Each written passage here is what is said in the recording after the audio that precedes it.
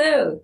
In this video, I'm going to take a FastAPI function and deploy it using the Azure Developer CLI up to Azure Functions with an API management policy in front.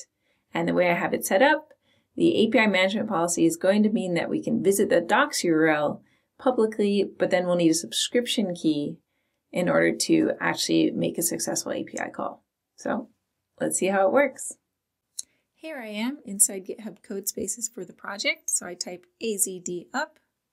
First thing it does is ask me for an environment name. This will be the prefix to all the resources created.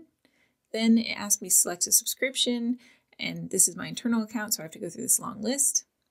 Then it selects asks a location, and I go for somewhere in the US, like East US 2.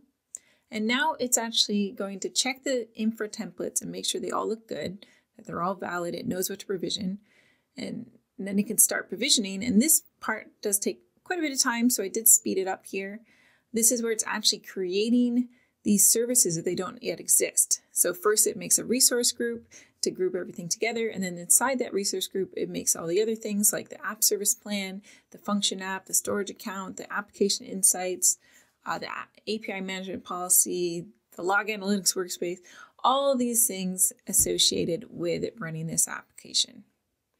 So now it's done. It can actually deploy the code now. So it's bundling that up and pushing it up to the Azure servers. This also takes time. So I sped this up too. Okay, and it's done. We see an endpoint gets displayed. This is the endpoint of the function app. Now, for this example here, I've set it up so the function app has an auth level of function, which means you actually have to have a function key in your headers to be able to visit it. So if we go to this URL, we get an HTTP 401. That's completely expected. What we need to go to instead is the API management URL, because that's what I've set up so that public, you know, users can use. That's our, my wrapper of the function. So I go to the portal overview page, I find the API management service, click on that. Now this loads and I can see in the upper right the gateway URL.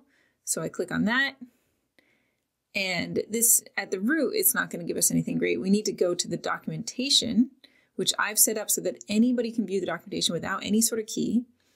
Because I, I like that. You could set it up to need a key, but I want it to be publicly viewable.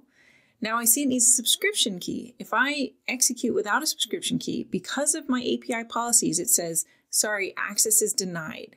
So this is something I set up as an API policy. You don't have to require subscription keys. I just thought it was neat.